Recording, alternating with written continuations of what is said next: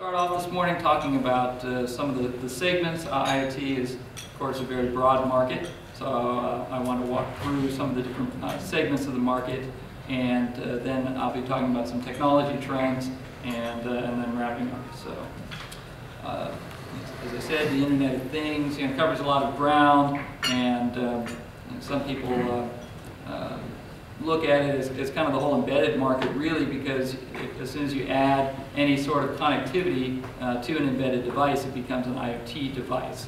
So, uh, so you can take a car, make it a connected car, you can take a thermostat, make it a smart thermostat um, by adding that connectivity feature and um, now you've got an IoT device. So uh, we're seeing a lot of opportunities there. Um, there's uh, IoT clients then that uh, connect through into the, the network, um, often through an IoT gateway.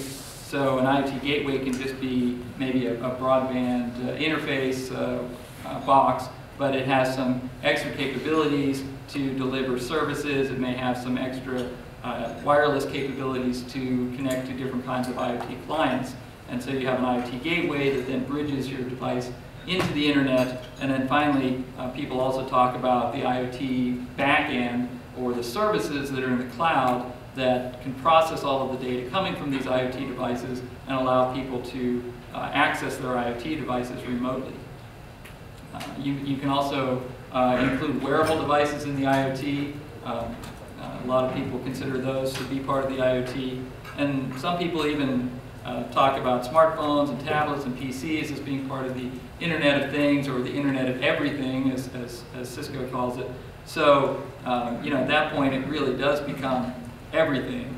So, you know, we prefer to focus more on uh, the newer parts of the market. I mean, we, we understand smartphones and PCs have been around for a long time, uh, so, so we try to focus more on some of the, uh, the emerging categories here in the Internet of Things.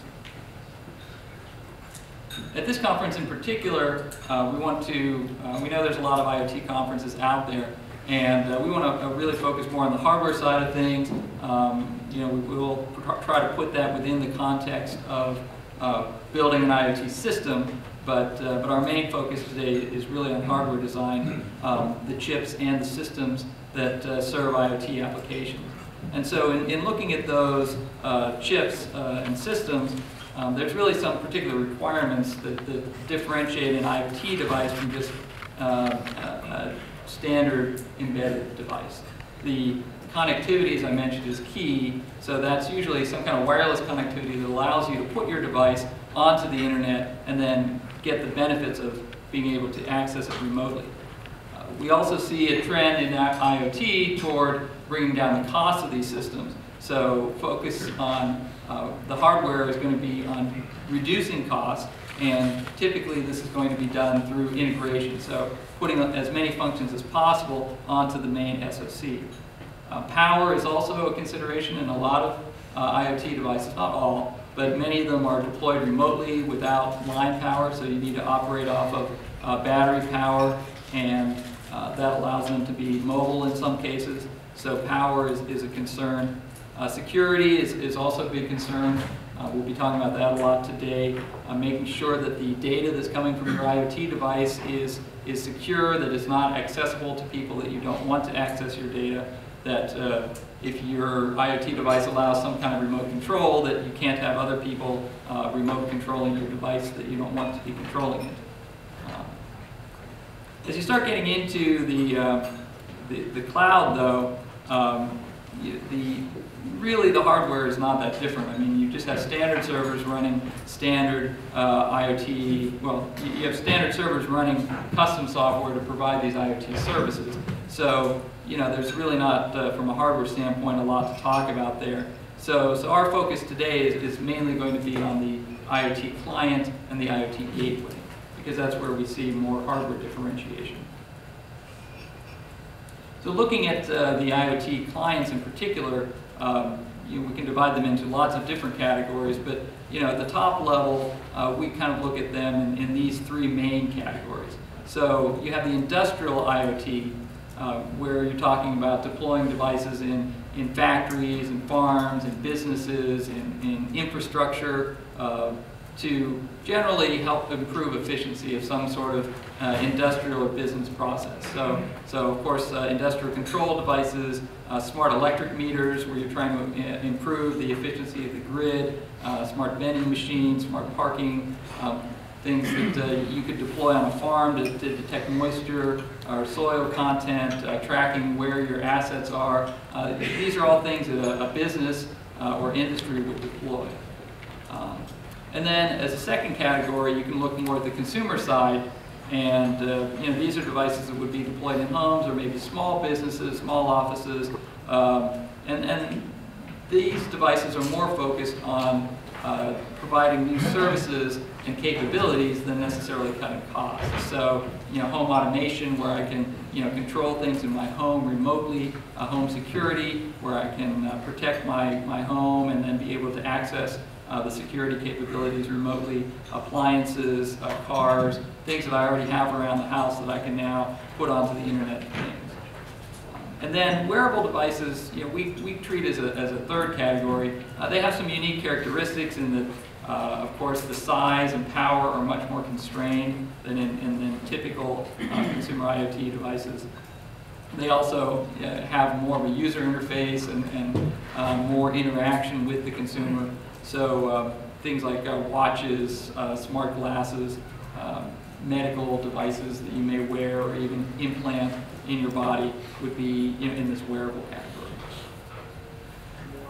So uh, in the industrial IoT, you know, we're seeing uh, things take off more quickly.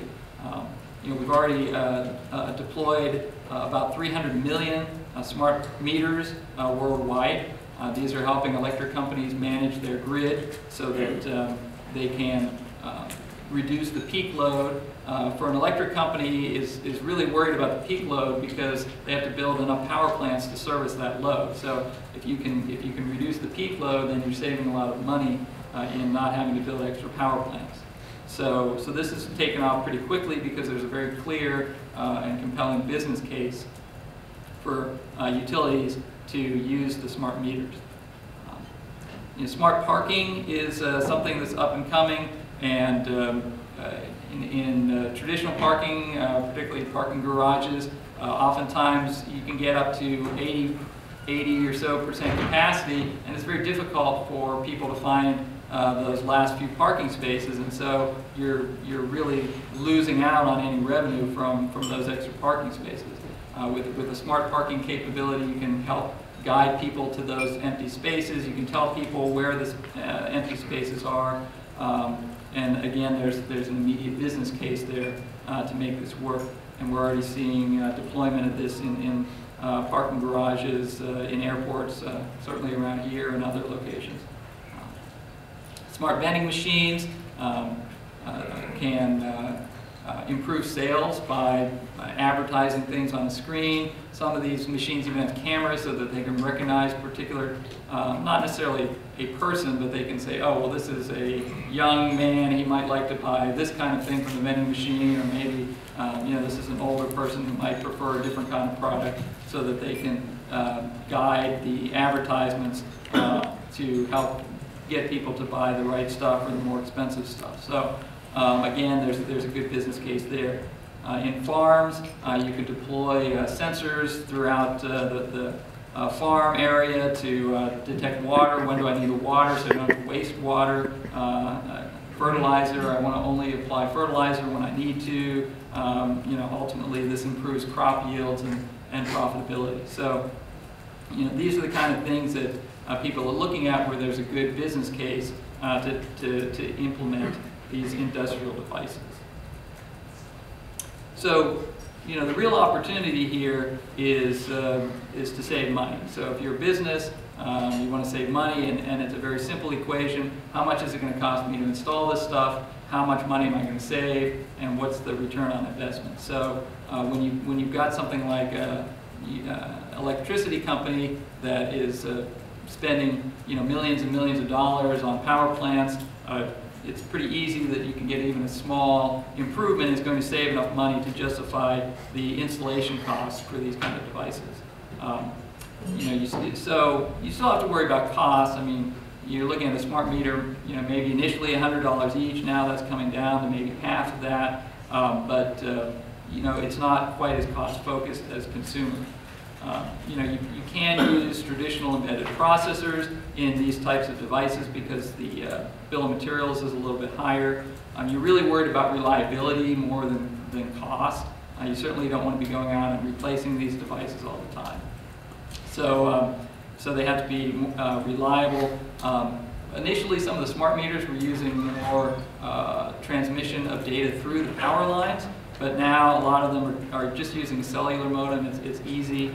Um, the the, the uh, data plans are getting fairly inexpensive, so uh, so that's uh, becoming more common. And you know, in this case, though, uh, in the industrial internet, the volumes may not be that big. Uh, smart meters is, is pretty big, but when you start looking at some of the other segments, I mean, like, for example, all of the vending machines in the world, there's about 2 million. So smart vending machines, you know, not going to be a huge unit uh, market. But, uh, but the price points can be attractive enough to make the investment worthwhile. In the consumer uh, market, we're seeing an explosion of new devices coming out. You see something new every day. I just uh, yesterday uh, read about a smart oven that uh, you put the food in and it recognizes what kind of food you put into the oven and it, it, calculates the best way to cook it and it has a temperature probe that comes out and sticks into the food. It's great. Of course, it costs $3,000. Um, but you know that's uh, maybe a sign of things to come. Um, you know, some of the popular things we've seen, the, the Nest thermostat, um, is, is, uh, is out there, shipping about a million, two million, million units. Um, smart light bulbs uh, that allow you to control the uh, lighting and, not just the turning them on and off, but now with these new bulbs you can change the color and the intensity. Uh, so, um, you know, that's starting to roll out. Um, smart door locks that you can see who's at your door and decide whether to let them in or not through your smartphone um, security systems where you can monitor what's going on in your house. Uh, all kinds of stuff is coming out. Um, all of these devices today are pretty expensive. Um, you know, I've got some examples here, you know, $200, $300, you know, even the light bulb is $80 for a light bulb. Um, so, you know, these kind of price points, the shipments are not that big.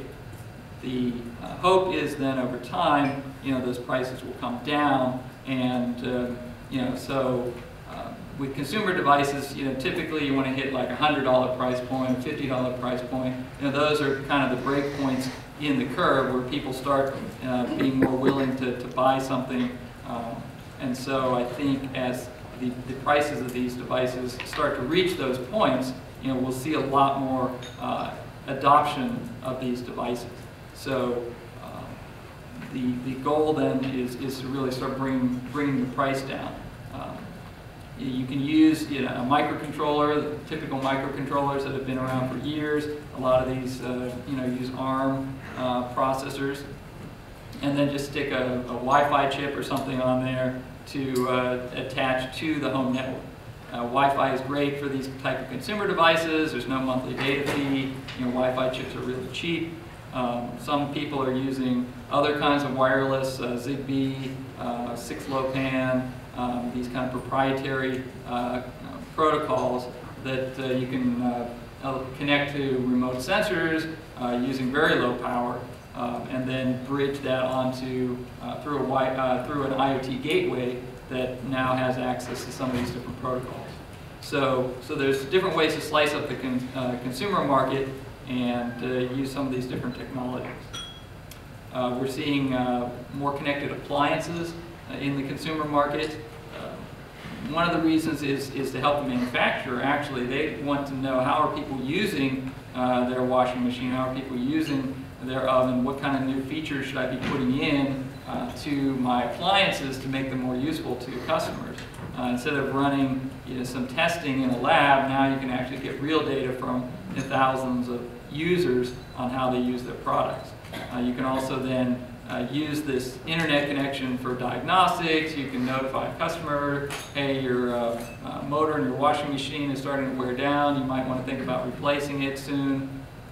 And um, you know, the problem is that you know consumers may not be real excited about um, giving, you know, all this data to the, the appliance manufacturer, you know, what's in it for them. So, um, so I, what we're seeing now is manufacturers wanting to kind of do this themselves. You know, you're paying $500 for a washing machine. Uh, you can put a, an internet connection in there without really changing the, the, the profit margin that much. So, so the appliance makers are starting to add this capability into their appliances themselves. Now, you know, there are some cases like the smart oven where you know, you're actually offering some kind of service and maybe people are willing to pay for that. Um, so, so there's a couple of different models as to you know, how these appliances are going to get connected and get smart. Um, but uh, you know, I think that we will see more and more uh, connected appliances on the Internet of Things you know, over the next several years.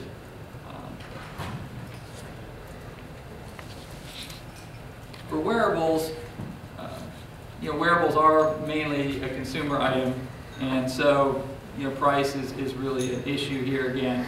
So, uh, and then power, as I mentioned earlier, is, is much more critical for wearable. So now you're looking at uh, something that you want to wear on your wrist, maybe. Uh, it has to be very small, it has to be very light, uh, so the battery cannot be very big uh, because of the weight.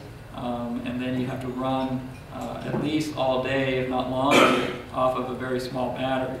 So, so power consumption becomes very critical. Um, you know, we're seeing a couple of different kinds of wearables uh, with uh, Android Wear or the, the Apple Watch. Um, you, you, typically have a pretty uh, you know, relatively powerful Cortex-A CPU, uh, probably some kind of GPU in there to drive the screen, and uh, that makes things more complicated. It uses more power. You know, alternatively, we're seeing things like fitness bands that just use a very simple uh, microcontroller to keep the, the cost down, keep the power down, and uh, extend battery life.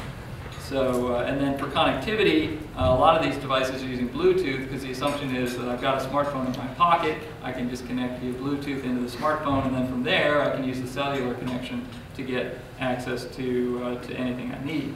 Uh, but some devices now want to be able to run independently. If I don't have my smartphone, maybe I'm out jogging, I just want to have my fitness band. So, so they may have a cellular connection built in uh, to be able to maintain their connectivity. So we're seeing, you know, some different kinds of wearables emerge already. Uh, the fitness bands have kind of been fairly successful uh, initially and allowing people to track their, their health. Um, and you can, you can buy these, uh, you know, pretty cheaply nowadays. And uh, if, you, if you get the kind of the knockoff versions, then you get down to 20 $15 for some of these things. Uh, we saw about 5 million fitness bands shipped last year. Certainly uh, we'll see considerably more this year. Uh, smartwatches, of course, uh, this category has been uh, powered up by the, Apple Watch introduction. And so we're seeing a lot of interest in there. But again, the price points are very high. I mean, $350 you know, minimum, depending on which version of the Apple Watch you want to buy. Uh, but uh, but uh, at the other end of the market, we're seeing you know, very cheap watches being sold in, in China and other places for you know, $50 or less. So, um, so there's an opportunity there as a, if, if, you can kind of combine the, the functionality of, of, like an Android watch or an Apple watch with these lower price points, I, I think there's, there's a big opportunity there. Uh, smart Glass, um, it's kind of the generic name for Google Glass um, allows you to do some pretty cool things in terms of being able to see uh, information superimposed on whatever you're looking at and uh, perhaps give you more uh, information on what you're looking at or, or uh, create uh, images of, of things that overlay the real world. So, you know, this is, you know, Google, excuse me, Google Glass had some problems uh, you know, being accepted, I think, in, in, in the consumer space. We, we actually see a lot of uh, interest now coming in, uh, in industrial vertical applications. You know, for example, someone who's uh, delivering packages could have information on uh, being displayed uh, in their glass while they're you know, using their hands to deliver things.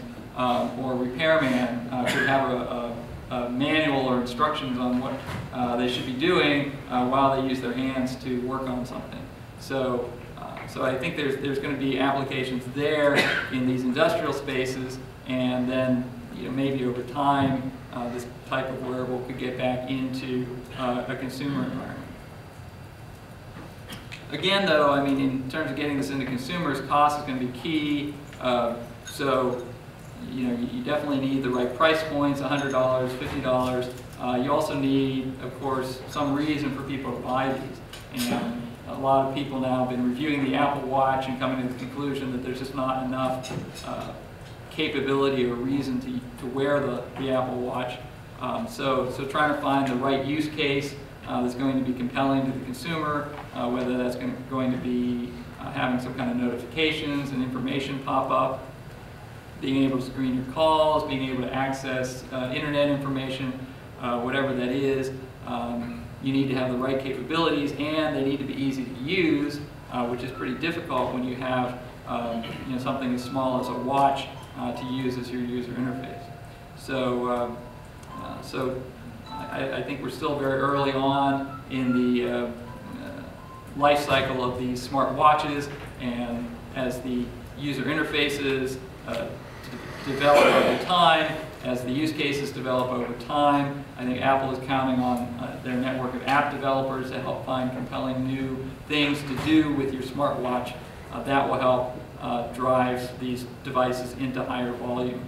Um, another thing that's uh, been a real problem with initial devices is in battery life. Uh, the Apple Watch uh, barely makes it through a day, depending on how you're using it. People would like to see multiple days, maybe even weeks, uh, between recharging their, their watch.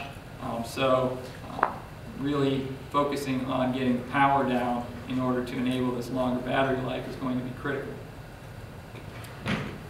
Once we can get the price point down, I think these devices will become more popular. Uh, and I think one, one method that we'll see is phone makers bundling them with their phone. Um, I mean, the smartwatch becomes an adjunct to your phone anyway, and uh, you probably want to have a similar interface between your phone and your watch. So if I'm buying a phone, you know, for $400, a high-end phone from Apple or, or Samsung, uh, you know, throwing a watch in there maybe for another $50 is, is, is pretty easy. And, and uh, so I can see uh, that kind of bundling uh, driving the smartwatch into the market once you have a compelling you know, use case for it. So I think uh, once uh, we solve some of these initial problems, uh, there'll be a lot of interest in these watches, and, and, I'm actually pretty pretty bullish in terms of, of, of, how, how many of these devices you know, that uh, could be sold over the next several years. Um, so we are seeing this dichotomy, though, in, in, in, the way the watches are being built. Um, you know, the Apple and, and, and, Google are pushing this idea that the, that the, watch has to be you know, fairly complicated. It needs to run uh, third-party apps. Uh, so uh, it, it, needs a sophisticated operating system, which requires a more powerful CPU, uh, Cortex-A class that has some memory management. Uh, you need a, a, graphics accelerator to improve the information that's being displayed on the screen. You need more memory in order to uh, run all of this uh, software. So that, of course, drives up the cost and it drives up the power. And uh, so that makes the battery life a problem. Now, the other way to go is to try to keep things as simple as possible. Uh, use a very simple CPU like Cortex-M class. Uh, don't need a GPU, just have simple graphics on the display. Use a real-time operating system that doesn't need all of the memory management. Uh, now I can reduce the amount of, of uh, DRAM and, and uh, SRAM in the system. I'm not going to run third-party apps. I'm just going to have some basic functions built into the watch. And if I do all of those things, I can get the cost down, I can get the power way down, and I can now have very good battery life, but you know, I may not be de delivering a compelling experience to the user. So I think people are trying to figure out which of these two paths are going to work, and then maybe ultimately, ideally, uh, we can converge those two paths and get you know, a lot of high-end functions with that very low cost and low power. That's going to be difficult, but I think that's the challenge you know, that we're facing right now in order to, to make a really successful smartwatch. So uh, you know if you're building an IoT device, you're going to need some kind of CPU, uh, you're going to need memory uh, to run your software, you're going to need some kind of radio to connect to the internet, uh, you're going to need some kind of analog because you're probably uh, interacting with uh, sensors and um, motors or actuators or something that controls the real world. So uh, if you can get as much of that stuff as possible you know, onto a single chip, you know, now you can start driving the cost and power down. So uh, you, there's several options that you can use.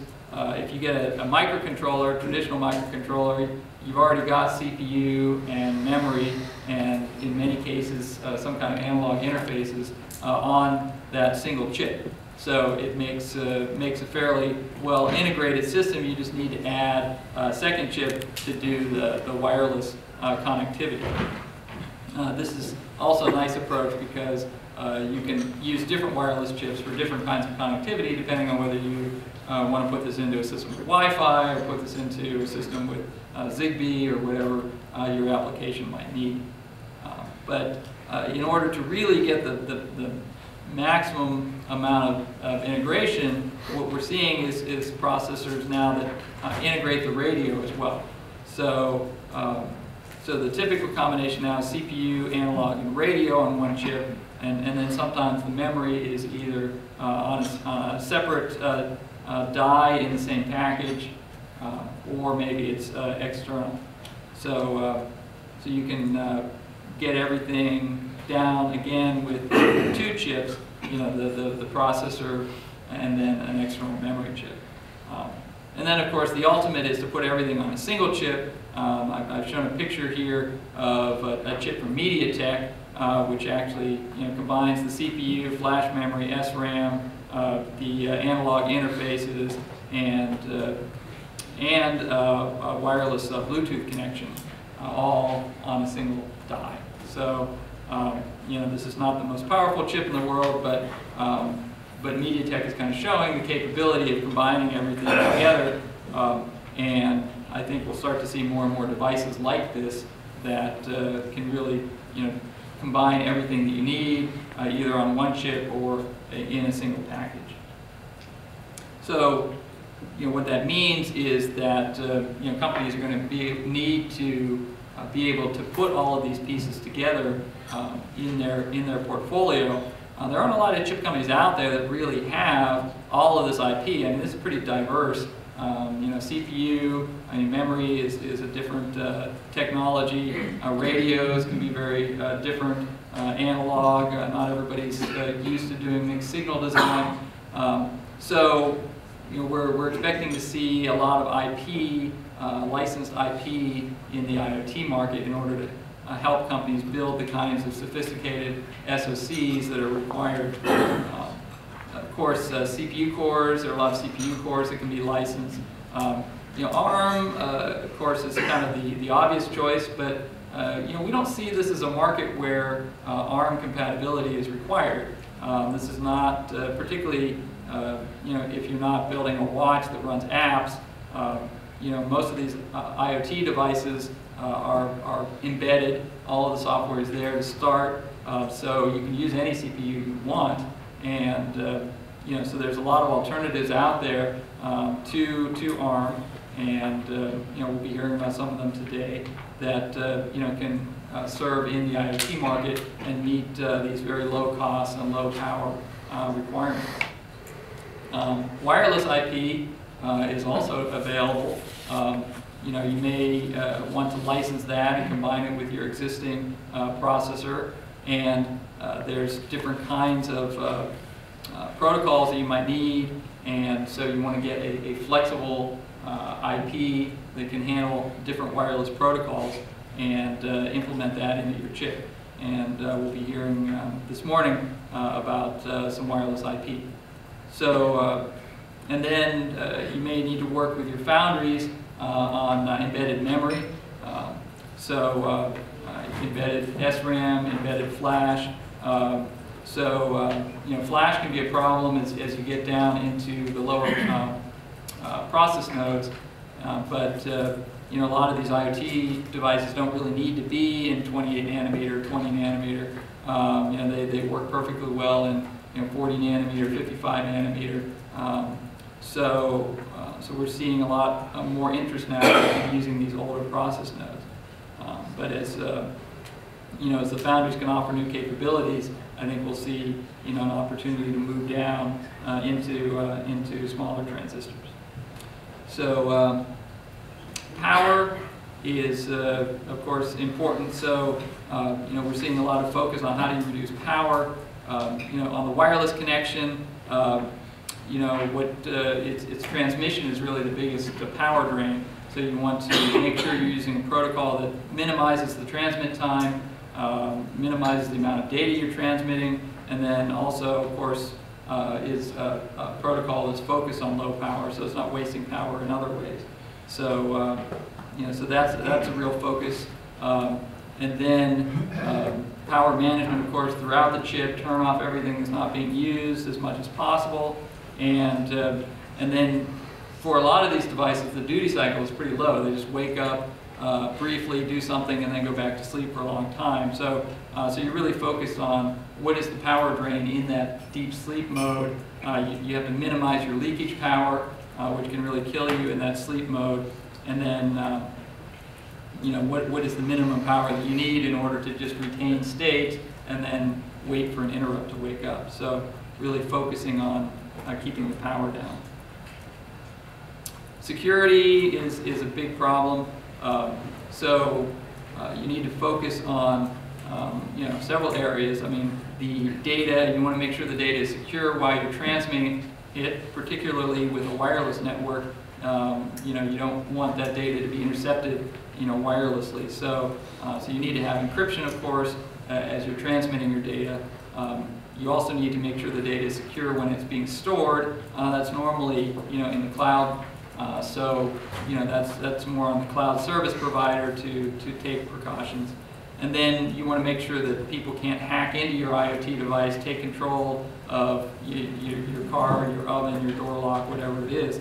Um, you know, so, so making sure that you uh, have secure boot uh, capability built in, uh, validate your boot code before you execute it, um, make sure you have secure storage on the chip uh, for any cryptography keys, uh, so that those can't be uh, hacked out. Uh, make sure that as commands are coming in, that you authenticate to make sure that these are um, commands that are coming from an authorized source.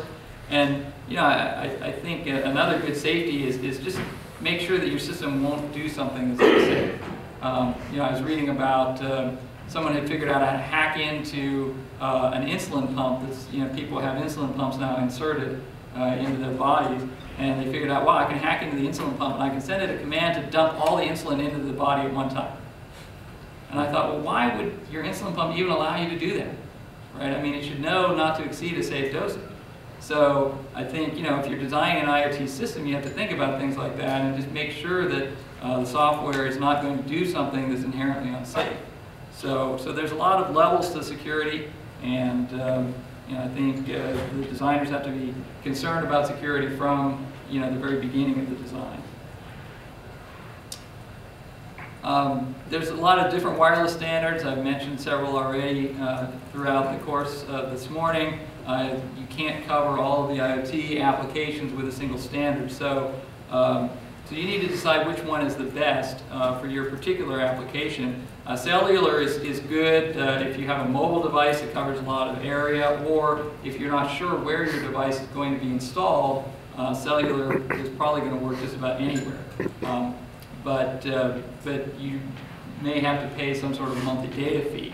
So Wi-Fi is great uh, because it's free uh, in most homes.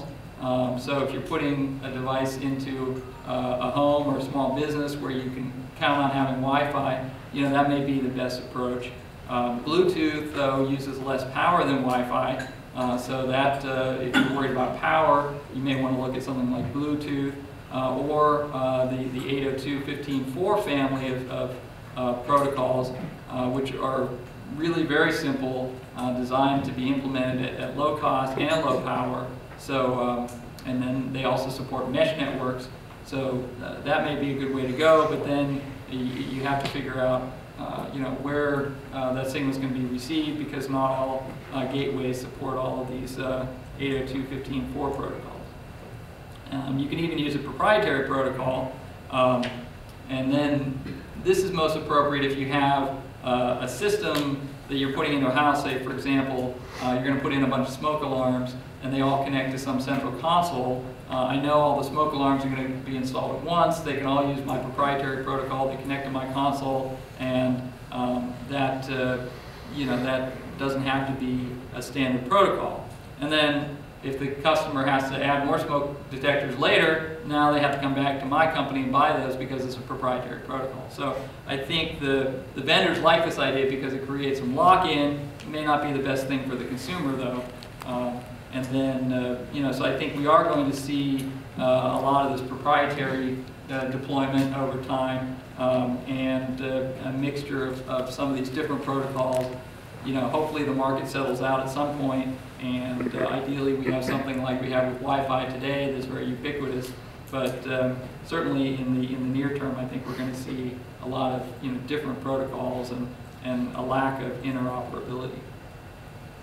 These are a couple of newer standards that are coming out I wanted to, to point to uh, that offer some, some opportunities uh, for convergence in the future. Uh, 802.11ah is the next generation Wi-Fi and uh, one of the focuses of the AAH working group has been to offer this, this low power mode. So um, in, in addition to uh, adding the 900 megahertz band, which gives you better range, um, you have some new options to use uh, uh, smaller channels, 1 megahertz, 2 megahertz channels, so that uh, with these smaller channels, of course, uh, use less power, um, and then uh, changing some of the protocol itself to reduce power, and not, you know, for example, Wi-Fi devices have to check in periodically, and that kind of wastes power, so now they're trying to get rid of that. Um, so, so all of these uh, options are now trying to bring the Wi-Fi power down really more toward where Bluetooth is and, uh, and make uh, this more ubiquitous um, where any Wi-Fi access point that supports 11AH will now support these, these low power options. So uh, we're already seeing uh, progress there. The draft standard is complete. Uh, we should see products you know, on the market this year. So, so there's a lot of work being done there. Um, for cellular, uh, similar thing is going on with uh, LTE uh, called Category Zero. And the idea is to um, you know, reduce the data rate, reduce the um, uh, amount of, of uh, bandwidth that's being used, and then um, not only reduce power, but make the modem much simpler. So uh, today, you know, if you buy an LTE chip, it's probably designed to run at 150 megabits per second, or maybe 300 megabits per second. So you, it's got a lot of hardware in there to do all that. So if you limit the data rate to say one megabit per second, then all of a sudden the, the amount of processing is much smaller. So um, so this, this standard uh, is also uh, in, uh, in a final approval process. Uh, there's actually some products that are already available that are sort of pre-standard products, and, uh, and then there's continuing work being done uh, in Release 13 to uh, help uh, reduce costs even further uh, by integrating the power amplifiers. So, so a lot of focus now on, on making things easier you know, for um, these IoT devices. So um, to wrap up, um, you know, a few big picture thoughts. Um, you know, there's just a lot of IoT platforms out there today. When I say platforms, I mean we're seeing all these things from uh, different companies pushing their own uh, kind of products. You know, there's there's Allseen from Qualcomm, mbed from ARM, uh, Azure, ARTIK, all this different stuff, and and you know they're trying to uh, define a standard that people can use, but now you've got so many standards that nothing is really standard anymore, and um, you know really what these uh, groups are trying to focus people on is, is, you know, usually using their chip, but also really using their cloud service. Uh, a lot of money is going to be made on these cloud services, and I think uh, that's really where the battle is being fought right now, is trying to get people locked into a cloud service. So you've got these, these you know, different groups now that are being driven by particular companies, and you've got some industry groups, a lot of different groups uh, that are battling to get the IoT uh, people on their side. Um, so, um, So I think that, you know, hopefully this will all uh, winnow down over time and we'll, we'll have a few good standards, a few good uh, groups uh, that, uh, that we can rally around and uh, that will really simplify things. But right now, it's, it's very confusing to understand which platform you should develop. Uh, uh, okay, so I wanted to uh, talk a little bit about our forecast. Um, the, you know, there's been a lot of numbers being thrown around, and um, the you know the 50 billion number is, is, is very popular. This is something Cisco came up with, I think, about a year ago.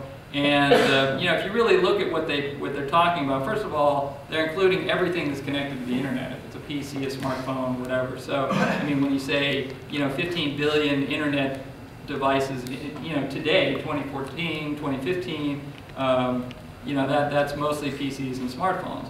Um, and then, you know, in terms of forward projection, um, from uh, what they said, uh, somebody estimated how many things there are in the world. I don't know what that means. And then said, okay, 2.7% uh, of all things are connected to the internet. And hey, it happens to come out to 50.1 billion.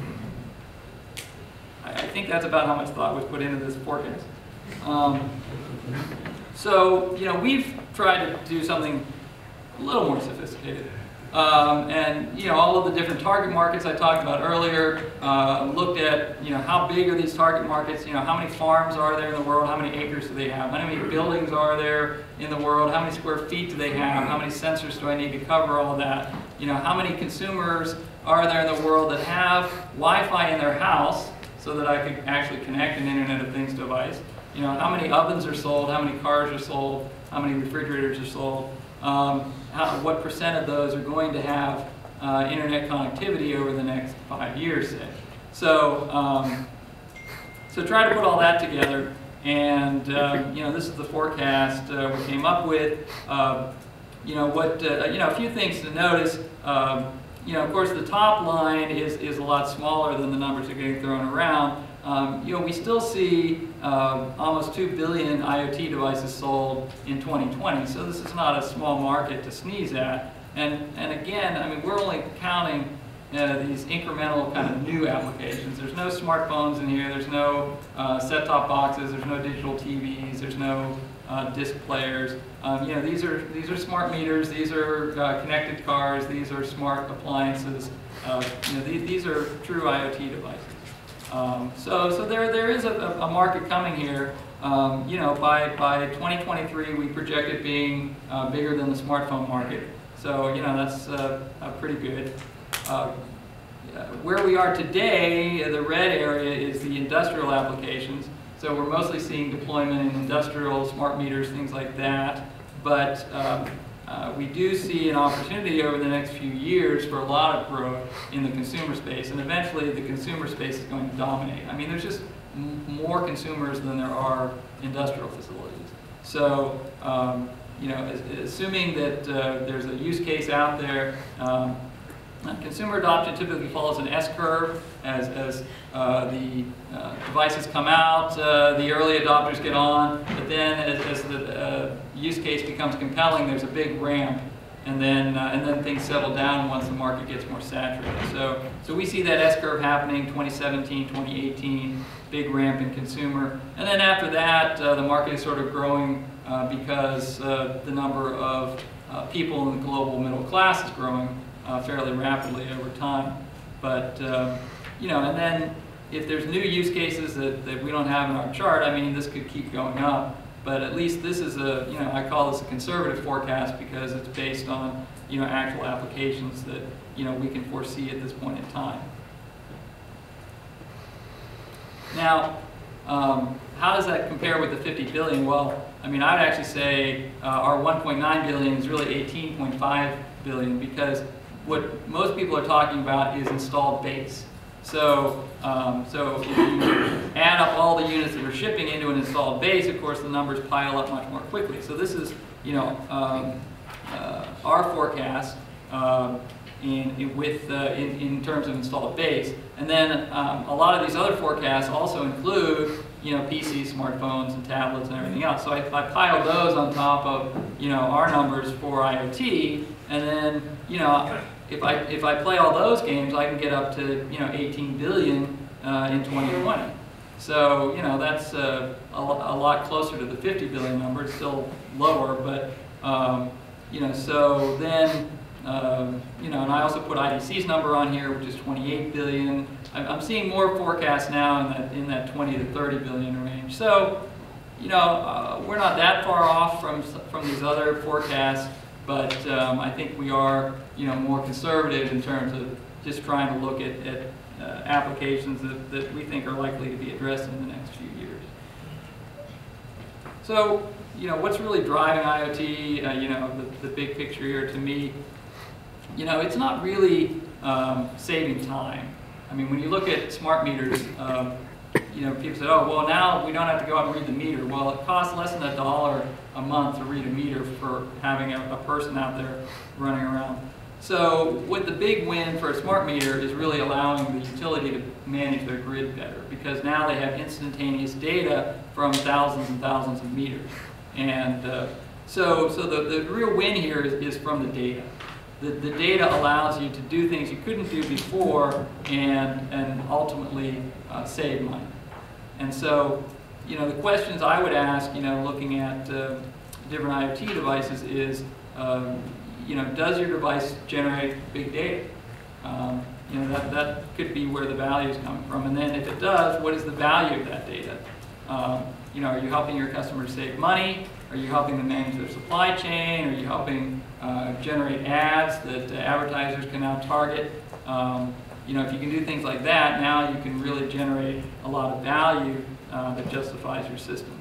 So, you know, for example, you know, smart thermostats, um, you, you, know, they can program themselves great. I mean, I can program my thermostat pretty quickly, but, you know, if you can generate enough data to really allow people to uh, adjust their energy use, you know, that's, uh, that's a big win. Uh, smart lighting, I mean, you know, I, I, don't have to get up off my couch to turn my lights on. I'm not sure that's really exciting.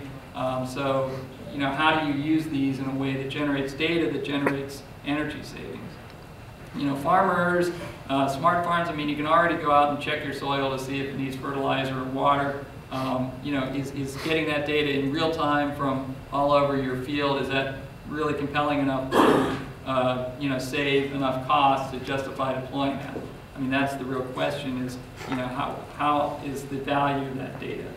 So, I mean, these, these are the kinds of questions I think people have to answer when they're looking at these IoT applications and, and say, is this really going to be useful or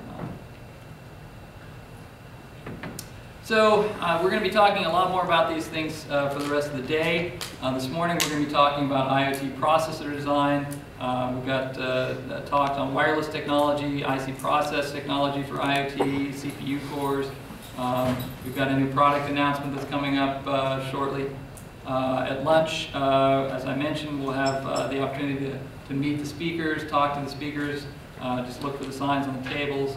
Um, this afternoon, uh, we're going to have a session on security, always a hot topic for IoT, and uh, we'll have another new product uh, being announced in the security session this afternoon. And then we'll be talking about low power design later this afternoon, another very important topic for IoT, and uh, talk about some technologies that will help uh, reduce power. So, and then uh, please uh, stay for our big reception uh, this evening. Uh, we'll have lots of food, open bar. we'll have giveaways for people that you can win. So, so don't forget to to stay for that. So just to summarize my presentation, um, you know, IoT brings new capabilities to uh, a lot of existing systems and uh, mostly just through adding a wireless uh, connection allows you to uh, do a lot of new things. Uh, today we're seeing a lot of interest in the industrial IoT, but uh, we believe that in the long, longer term, uh, the big, biggest opportunity is in the consumer, consumer IoT. But in order to get there, we really need to focus on reducing system costs. one way that we can reduce system costs is through integration and uh, we'll be, be talking a lot today about how do you integrate these processors uh, to reduce system costs. uh, security and low power are, critical to, to drive the IoT forward. We're going to be talking about that today. And uh, you know, we really think that you know there is a big opportunity here in the IoT. Maybe not as big as, as some people say, but uh, but there is a real opportunity there. So um, with that, um, I think I'm. Do I have time for questions? Okay, um, we can take a couple questions if we have any. Question up here. Hold just a second till we get the microphone. Um, So I was interested in, uh, I think you said on foil 26, uh, the IoT forecast. Uh, You said consumer is going to be the the largest market, but that's in terms of units. Does that picture change when you start applying dollars to that picture? Yeah, that's a good question. Um, I think, uh, you know, we, we've done some studies on revenue as well. Um, the, uh, in the industrial IoT, there are opportunities for higher, higher prices. Um, uh, but uh, I think that the same technologies that are driving down costs in consumer will also drive down costs in, in the industrial deployment. And so, you know, while there will be higher ASPs there, they're not going to be, you know, so much higher. Um, but uh, I think you know both markets are going pretty strong. I think you know from the from the graph, um, you can see there's a lot of units in both places. But uh, I think it's a good point that you know revenue-wise, the gap is going to be smaller.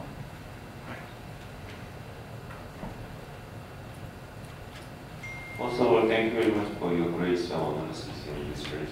But so far, whenever I just attend the last of IoT conference, most of people trying to explain their view as a manufacturer point of view. But I, I would like to know what about the customer side or some service provider side? Because even they manufacture make lots of IoT device, eventually it should be installed by service providers like Verizon or some some cable network maker or even some end customer like themselves. But consumer-wise, at least commercial uh, customer-wise, generally, it since they are always uh, looking for free of charge service, I'm not sure how they can make a business model for consumer. But industrial case, definitely they have a lot of specific mandate. It might be easier than some Mhm. consumer, but I wish to know what kind of your vision for that kind of some strategy. Yeah, yeah, that's a good question. I think, um, yeah, for, for the industrial applications, you know, as, as you said, it's, it's, it comes down to business case. I think for consumers, it is, it is trickier. And, um, you know, particularly for the wearables, right? I talked about, uh, you know, you need a, a good use case and you need a, a good user interface, right, that makes it easy to use. I think for some of the other applications, um, you know, again, I, I think for the, these to take off, I mean, you need some kind of compelling use case.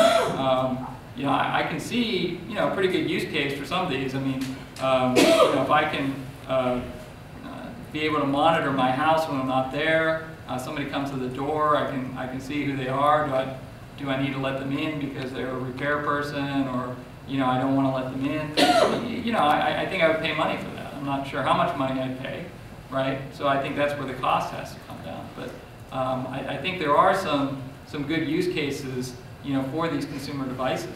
But, um, you know, it, it does come down to uh, putting together some combination of, of features and, and also um, you make it easy, easy to install and easy to use before you're going to get uh, a lot of uh, uptake from consumers. That's going to be the toughest market.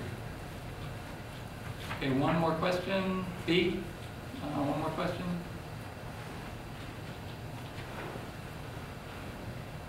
Yeah, so my question is um, more, I looked at your um, thoughts and your forecasts on the different areas, industrial and consumer, and what jumps out to me is there's a great deal of focus on wireless connectivity.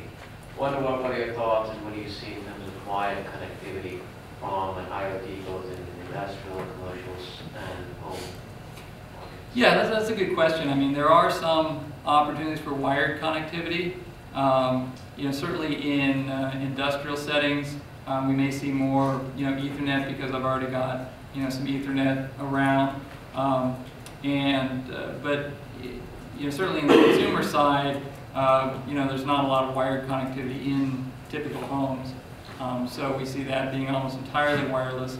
Uh, Even on the industrial side, I think there's more of a push toward um, making these devices easy to install. Um, You know, if I, if I need to put sensors all over my factory, uh, let's say, you know, I gotta put them, can I just use wireless ones and then I don't have to worry about it? So I think, um, you know, as people are installing these, e- even in industrial environments, in a lot of cases, it, it ends up being cheaper now to, to use uh, a, a wireless connectivity.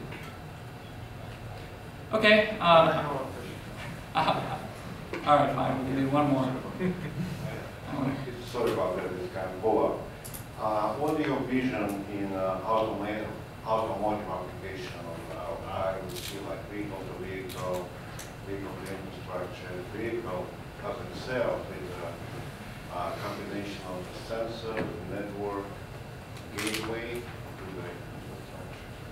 How it is uh, will affect. Yeah, I mean, uh, so, so so certainly, you know, we've included automotive in our forecast. I think, uh, I'm assuming about uh, 60% of vehicles will have some sort of connectivity by 2020.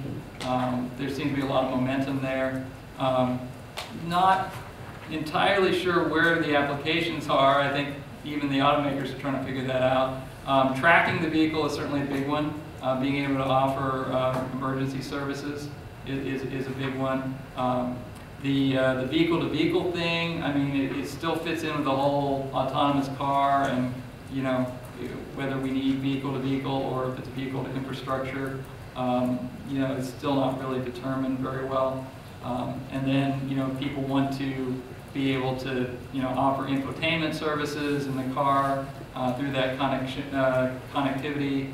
So I, I think, uh, you know, there, there's still a lot of uh, experimentation there uh, that, that's going on, but, but uh, there does seem to be a pretty strong drive toward, you know, the connected car.